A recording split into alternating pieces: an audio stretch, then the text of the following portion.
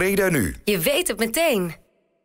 Op de avond van 30 januari organiseerde de Nieuwe Vesten een gedichtenavond. Verschillende dichters waren aanwezig, waaronder Olaf Douwes-Dekker en Mira Fetiku. We hebben naar elkaar gekeken als twee honden op het veld die op het laatste moment beslissen elkaar niet aan te vallen. Jammer.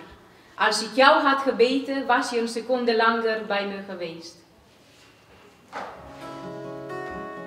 I see Ben Bulben in the distance impressive, high, unfinished, imposing in a signpost overlooking the ocean, Coney Island tonight. Na school wordt je Cruijff. Of Messi. Of Ronaldo. Hij dribbelt, draait en kopt, schopt dan de bal met meeste boog, een overdwakse omhaal in een denkbeeldig doel.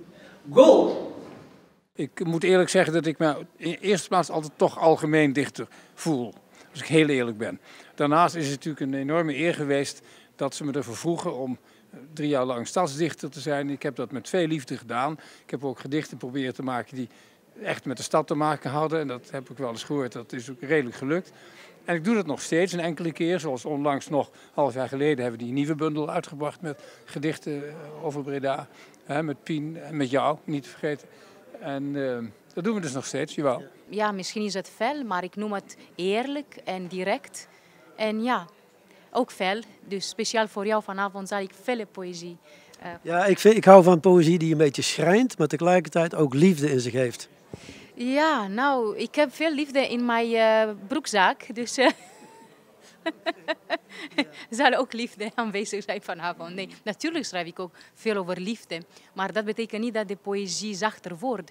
Juist omdat het over liefde gaat, is de poëzie ook fel. Zoals de liefde. Liefde kan ook harder zijn. Veel harder dan elk um, ander gevoel. Sur le Chez les blacks, chez les chez les jaunes Voyage, voyage Dans tout le royaume Breda nu. Je weet het meteen.